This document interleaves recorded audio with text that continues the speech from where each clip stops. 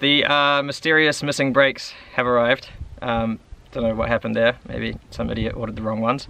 Um, but they have arrived and it is time to get back into it. Been a bit of a break since the video, so just keen to jump straight into some wagon content and we can get into later why has been a bit of a break. If you joined us because of the big Brembo brakes somewhere on the thing that I'm probably going to put there as a clickbait, sorry, kind of got you, but it is still a fun build of a tiny 318, so no big Brembo, Brembo, blah, blah, blah. also I can't talk, I do this a lot.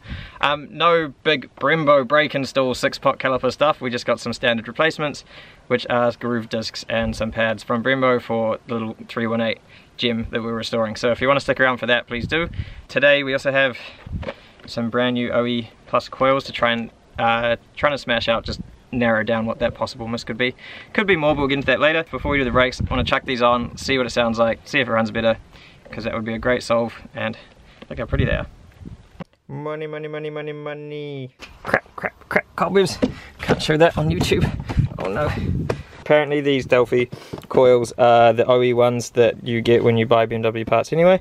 According to FCP, you're in a few more bases, so hopefully that's right. So we won't get any misses from using aftermarket that don't quite do the right job. But let's check these in. Commence time lapse now.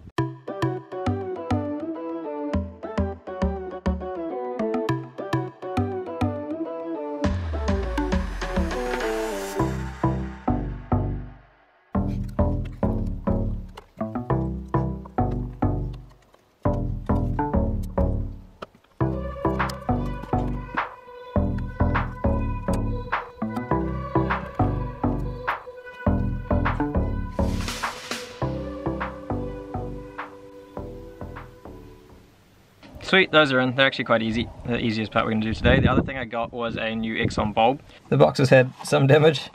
I've actually had to like put it back together a little bit, so hopefully this guy isn't too buggered from shipping. I don't want to touch the bulb with my hand. I've opened it the wrong end. Worst unboxing video on YouTube right here. Literally could not be more hard. Um, there it is. So it looks on visual inspection okay. I straight up can't even remember which um which which bulb it is. 2500 volts. Not scary at all. Oh what? Was this not even for real? The groove for the pin to sit in, it's not even sitting in there. So I'm not even, I haven't even taken that off yet. So I'm not sure if we actually needed one or if legit the bulb that is there just wasn't fitted properly. Oh, ho, ho, ho, ho, ho, ho. I think it was fitted correctly. And then I think we had a lovely high voltage explosion because look at that. It's just like exploded, half the bulb's still in there. This end's just blowing up. Damn. So here it is. Just unscrewed that dude that holds it in.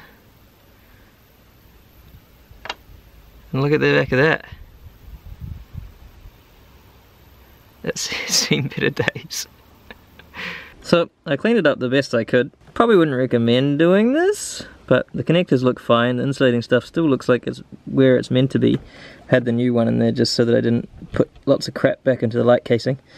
But on today's episode of Go Around and Find Out, we're going to see what happens when I plug it back in and turn it on. So as expected, when you see something like this, that uh, headlight unit is bugged. It didn't even do anything, not even a flicker on that light. I was just trying to get it back together so I could hopefully maybe pass the warrant that this thing needs and I need both lights working for that. But I guess I will be ordering more headlight parts. I imagine when an Xenon bulb with 2500 volts, 25,000 volts goes kaboof like this, it probably fries more than just where the connection had the issue. So we will look into that. If you know anything about Xenon bulbs, we've repaired, we've seen one like this before. I've got no experience with Xenon bulbs. Typically avoid them in cars, but if you do, drop something in the comment, please. That would be very nice. I don't feel like spending heaps of time researching something that just allows me to drive a car like a basic function like headlights. If you ever see one of these videos of me working on the car on gravel and think that doesn't look so bad, I should do it. Don't. It's horrible. It's so much more horrible than it looks. Especially when we're using jack stands on uneven surfaces, it is pretty horrible. If you leave the jack under anyway, but it's sturdy, but it just takes such a lot of twisting and setting it up and getting it perfectly right to get it nice and level and safe. And especially because like on normal gravel it's probably fine, but this is like big chunks, of coarse gravel, so it's real pain in the ass. Anyway, I forgot to loosen the wheel nuts after doing all that, so cue brake montage of me painfully removing wheels followed by the brakes being done. We have a solution.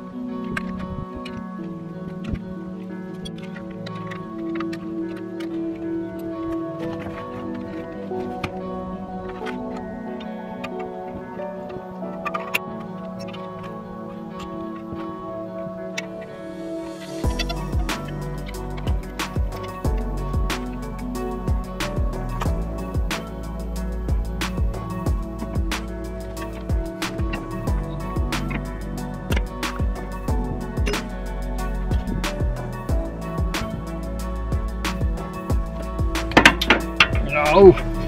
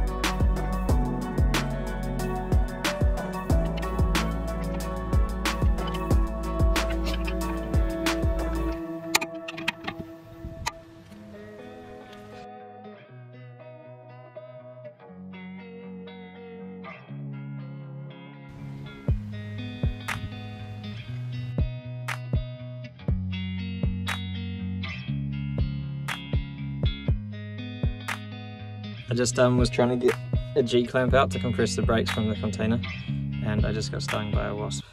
Right on that finger. Right at the top, just there. Right on the joint, just there. Which is perfect when I'm doing fiddly things in the hand. There's actually one right by the damn handle. I'm gonna try running there and hope they don't chase me. I'm too fast for you assholes!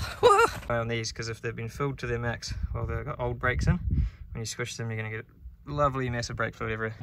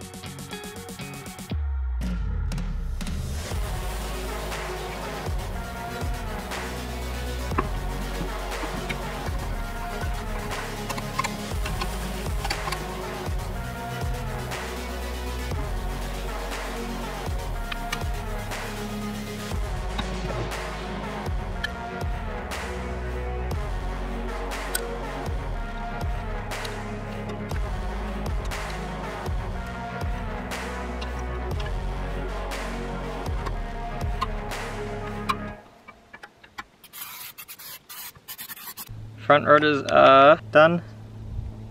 Yeah, look pretty good. What the keen-eyed of you will probably notice is that I did reuse the brake pad wear sensor, it hadn't gone off and I'm cheap. So this side was easy, went on like a dream. The other side took me forever, you probably can't tell it with the time lapse, you might have noticed. It took me literally forever because I couldn't, with new disc, new pads, I couldn't quite get the piston on that side all the way back enough to like just easily put the caliper over. See? Onto the rears. I now remember why I don't like doing brakes. Also, I have a lollipop. It's sour apple. It's good.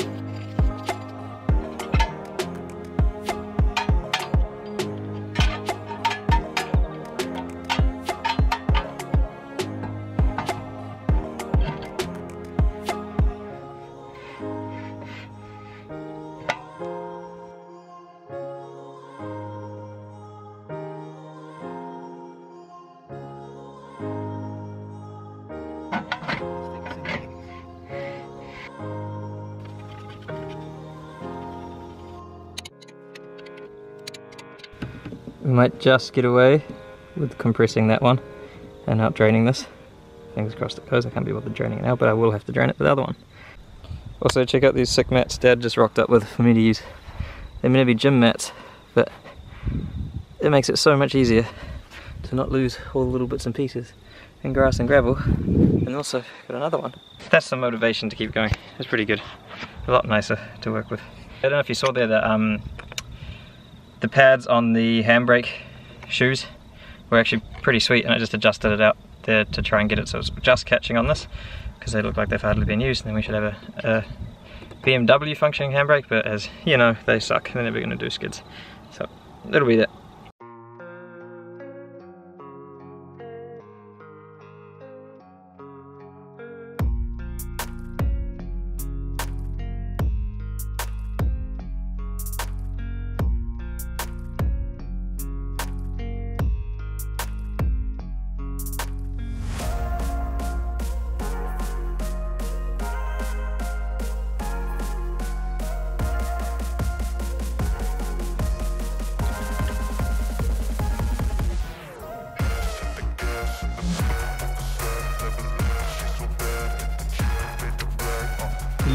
Brembo.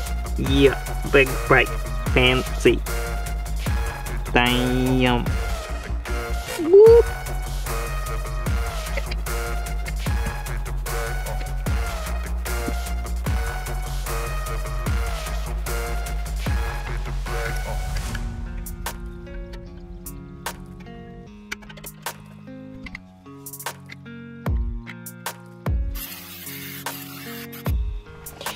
Know when you don't have the right tool and you somehow surprise yourself with your genius solution? Had some clear pipe that I used to bleed, bleed brakes once. An empty spray bottle that fits perfectly over that. And now if I squeeze this, it's sucking from the end of that pipe and I can shoot it back into here. Here it is. Here's the handle. Let's see if it sucks it up. Oh, look at it go. Look at it come out. Put that in there. And. Oh, yeah.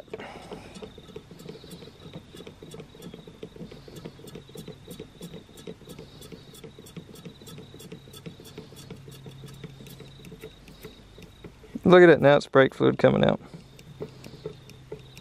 Yeah, you can see it going down there. Okay. I think we're above, below the max line enough. We can call it there. Oh, self-cleaning. Look at that. Suctioned all the way out till we hit air. There's one on the tube. I'm stoked with this little thing. Okay, I'm gonna start the timer and see how long this takes me. Just curious, not really trying to race. Um, but hopefully you can see there, if it focuses, it's like 5.33 or something. So we'll hit start and see wheel off how long it takes. Okay, that's all done. The camera died, which is great, but 22 minutes from wheel off. So it's pretty good if you want to do it yourself. Mind you, the most time takes is checking the car up. The back wheels are on, just need to be torqued up. Um, so I'm going to torque them up, drop it down, and then we'll call it there for tonight and we'll pick it up in the morning.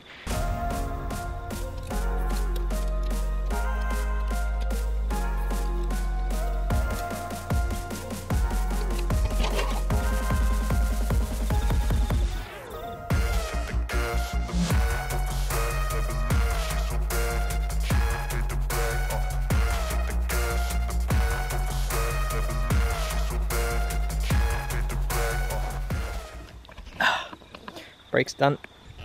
Good morning, it's threatening to rain here, so let's jump into it. Gonna give this thing a quick wash, give you some 318 cold start sounds, and then we'll take it for a spin and see, see how it goes.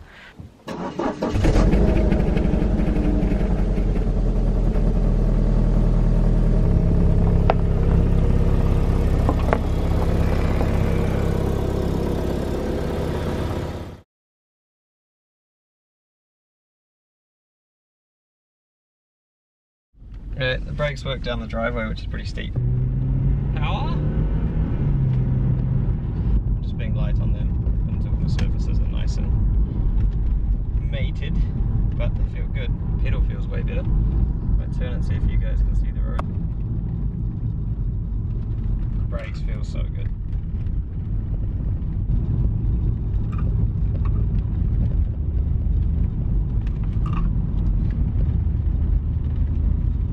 Ah, okay, the um the miss is still there. It's almost stronger with the new coils, like when it kicks back and the, the bounce back of the refire is is more aggressive. Um, what's weird with it is it seems to be different on every startup. Um, slightly different the problem. So I think the missing is probably EC, maybe even EC related because I think these had bad ECUs. Thanks for watching. We'll leave this one here and we'll kick off into the seats and some interior bits in the next one. And then as soon as the weather's good slash I have somewhere to do it, we'll probably rip that valve cover off and see what's going on with the Valvetronic um, just to see if there's any obvious issues on those gears and if there's any like slack in the teeth slash bird on the swivel motor gears on the the worm gears that's what I was looking for worm gears on the on the motor so we'll see how that looks um, but hope you enjoyed the video. Please hit the like and subscribe button if you did. And I'll see you in the next one. See. Cheers.